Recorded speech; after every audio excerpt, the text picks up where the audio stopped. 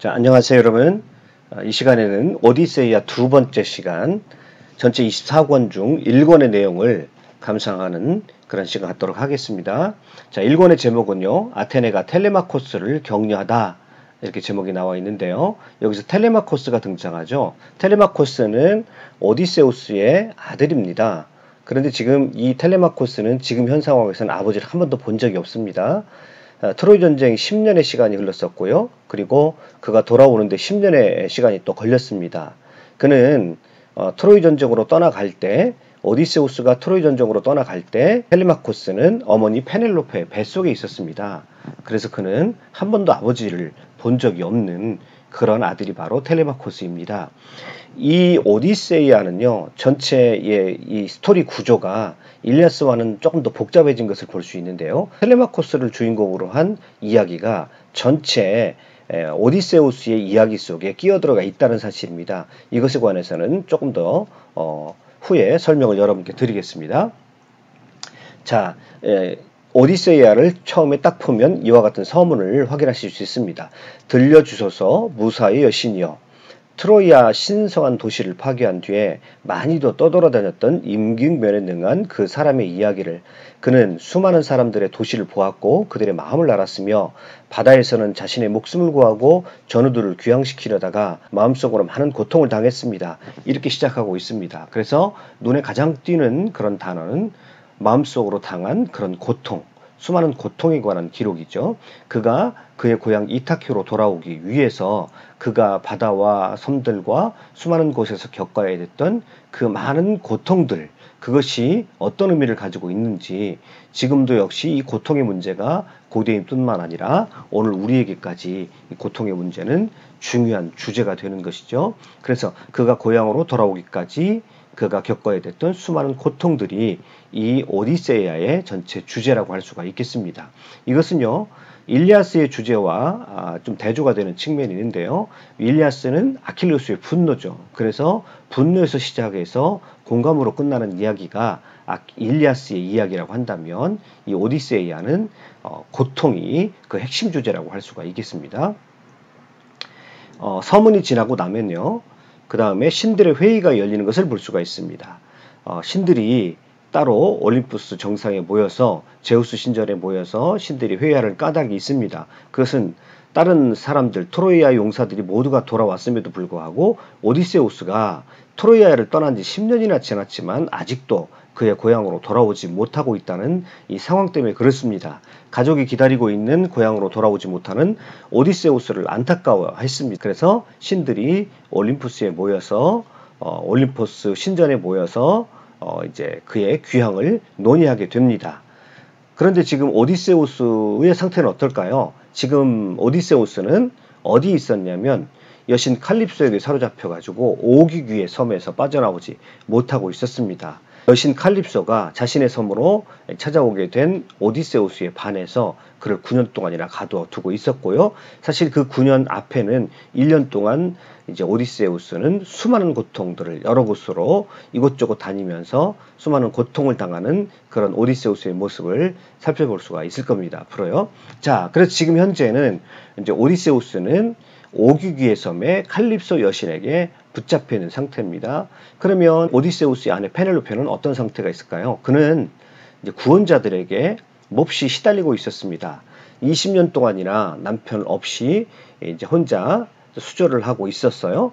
자, 이것은 서양 그런 문학에서 또는 서양사에서 좀 특이한 캐릭터라고 할 수가 있, 겠습니다 그래서 20년 동안이나 그의 남편을 기다리고 있었는데 여자 혼자 남편을 기다리고 있다 보니까 수많은 구원자들이 남편 오디세우스의 자리를 차지하기 위해서 그에게 구원을 하는 그리고 이 구원자들은 늘 오디세우스의 집에서 떠나지 않고 오디세우스의 재산을 흉내고 있었고 그리고 그의 아내 페넬로페와 그의 아들들을 괴롭히고 있었습니다. 자, 텔레마코스는 지금 어떻게 하고 있을까요? 자, 이렇게 그 표현을 하고 있습니다. 비통한 마음으로 구원자들 사이에 앉아 있던 그는 어디선가 호련히 아버지가 나타나 온 집안에서 이 구원자들을 내쫓으시고 몸소 명예를 차지하시고 재산을 다스렸으면 하고 마음속으로 훌륭한 아버지를 그리워하고 있었다. 이렇게 표현하고 있습니다. 그래서 텔레마코스는 몹시 괴로워하고 있었고 20살 청년이 되었지만 아직까지도 그 구원자들 틈바구니에서 어떻게 하지를 못하고 아버지가 나타나서 이 상황을 해결하기를 어, 기다리고 있는 그런 연약한 청년의 모습을 그리고 있습니다. 여기에 오디세이아의 또 하나의 주제가 나오죠. 청년 텔레마코스가 어떻게 성장해 가느냐. 라고 하는 것이죠. 그래서 아까 제가 말씀드렸던 대로 이 오디세이아는 두 가지 커다란 주제가 있습니다. 이 어린 연약한 청년 텔레마코스가 자신의 삶의 모든 문제를 자신이 끌어안고 자신이 직접 해결에 나서는 그런 성인으로 변하는 그래서 일종의 성장소설적인 모티브가 이 안에 들어가 있고요. 오디세우스가 집으로 돌아오는 귀향 모티브가 아, 그 안에 또 큰 모티브로 자리 잡고 있습니다. 그러니까 일리아스보다는 조금 스토리 라인이 스토리의 구조가 좀 복잡한 모습을 띠는 것을 볼 수가 있겠고요. 이런 것들은 이제 제가 봐서는 어, 이런 복잡한 스토리 라인의 구조는 섹스피어가 그대로 또 차용한 것이 아닌가 싶을 정도로 서양에는 어, 어떤 근원적인 모티브가 되는 또 근원적인 구조 방식이 되는 그런 이야기가 바로 이 오디세이아가 되겠습니다. 아무튼 오디세우스 또 그의 아내 페넬로페 또 그의 아들 텔레마코스가 몹시 괴로움을 당하고 있는 그런 문제 설정을 초반부에 해놓고 있는 것을 볼 수가 있습니다. 그래서 신들이 회의가 열려서 이 가족의 아픔을 이 가족의 아픔이 너무 지나치기 때문에 인간으로서 또 공평하지 못하고 다른 사람들에 비해서 공평하지 못한 그런 처사라 생각되어서 자 이들을 돕기로 결정을 했습니다. 자 신들의 회의에서 이제 아테네가 제우스에게 청원을 합니다.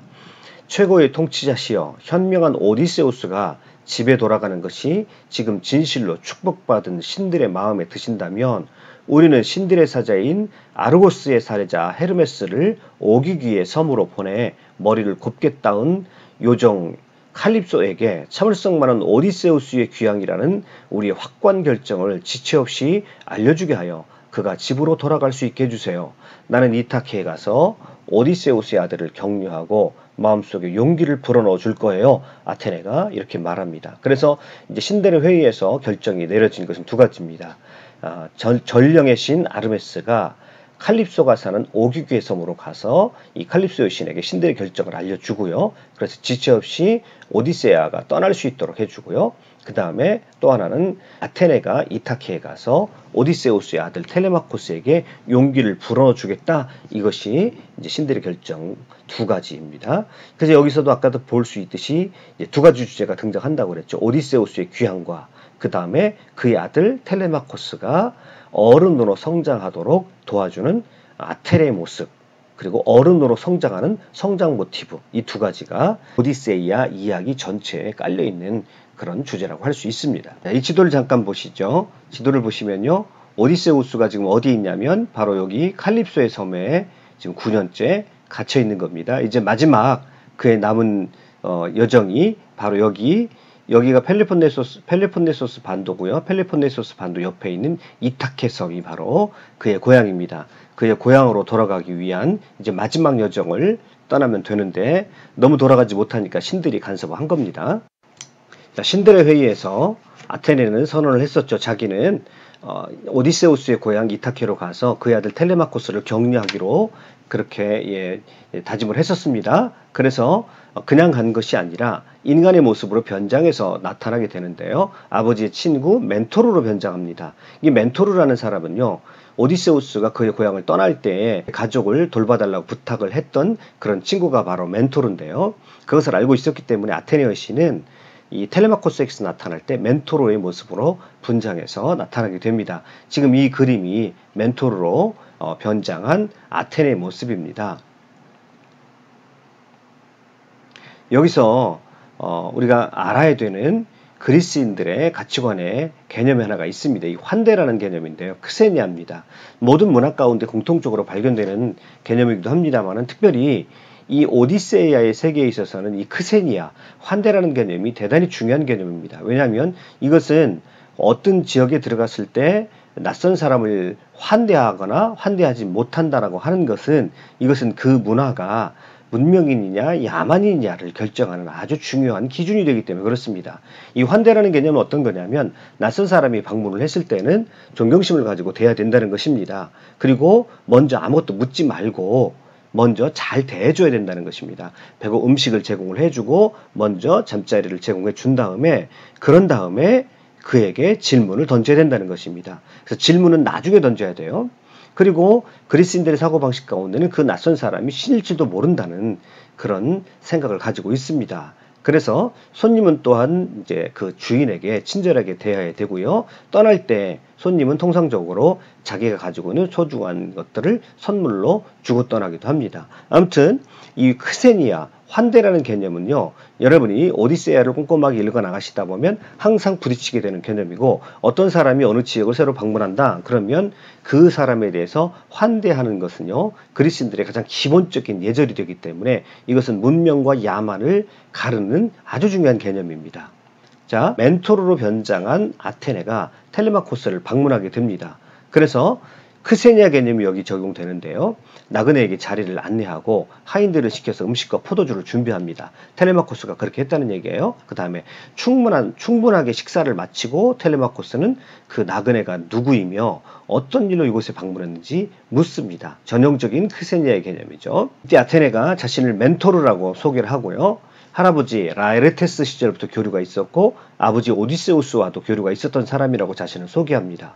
이제 무역을 하러 가는 도중에 오디세우스가 고향에 도착했다는 소식을 듣고 그를 만나러 왔다고 말을 합니다. 이거야말로 텔레마코스가 듣고 싶었던 얘기죠. 그래서 아버지의 생사를 지금 알 수 없는데 그런 10중8구 아버지는 죽었다고 생각해서 실망해 있었던 텔레마코스에게 이것은 담배와 같은 그런 소식이 될 것입니다. 피세우스의 아들 텔레마코스를 격려하고자 하는 그런 아테네 여신의 마음이 담겨진 그런 얘기라고 할 수 있겠습니다. 지금 내가 이리로 온 것은 그대의 부친이 벌써 집에 와 있다고 들었기 때문이요.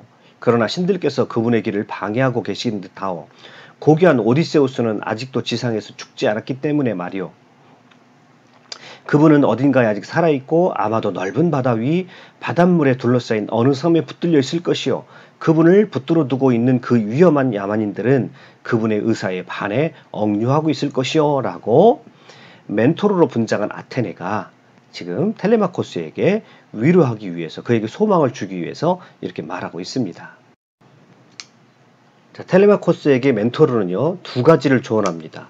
하나는 어, 그대는 내일 아카이오이족 영웅들을 여기 아카이오이족 영웅들이라는 것은 이제 그 구원자들입니다. 그 구원자들을 회의장에 소집해 모든 이들에게 그대의 결심을 말하되 신들을 증인으로 삼으시오. 그대는 구원자들에게 각자 자기 고향으로 흩어지라고 이루고 한마디로 무슨 얘기를 하는 겁니까? 지금 어, 그 구원자들에게 더 이상 나약한 어린아이의 모습을 보이지 말고 그들로 하여금 냉정하게 고향으로 돌아갈 것을 명령하라고 하는 것입니다. 이제 네가 네 삶의 문제를 직면하고 그 문제에 대해서 용감하게 네 권리를 찾으라 이렇게 말하고 있는 거죠. 그 다음에 또 하나를 조언을 하는데요. 그것은 이제 아버지를 찾아 떠나라고 하는 것입니다. 아버지가 돌아오기까지 막연하게 기다리지 말고 네가 가서 능동적으로 네 삶이니까 네 문제를 해결하기 위해서 아버지가 살아 있는지 아버지가 어디에 살아 계신지 네가 가서 아버지의 생사를 확인하고 돌아와서 그 문제가 확인이 되어야 네가 어떤 조치를 취할 수 있지 않느냐라고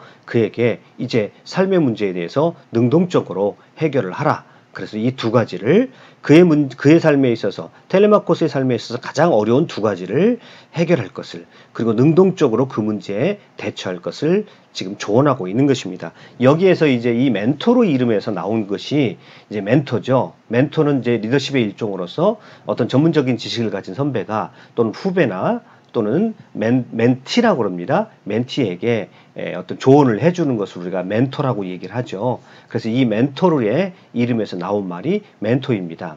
우리가 이제 이렇게 고전을 읽다 보면 우리가 일상적으로 많이 쓰는 얘기들에 이렇게 출처를 알게 되는 그런 즐거움도 있죠.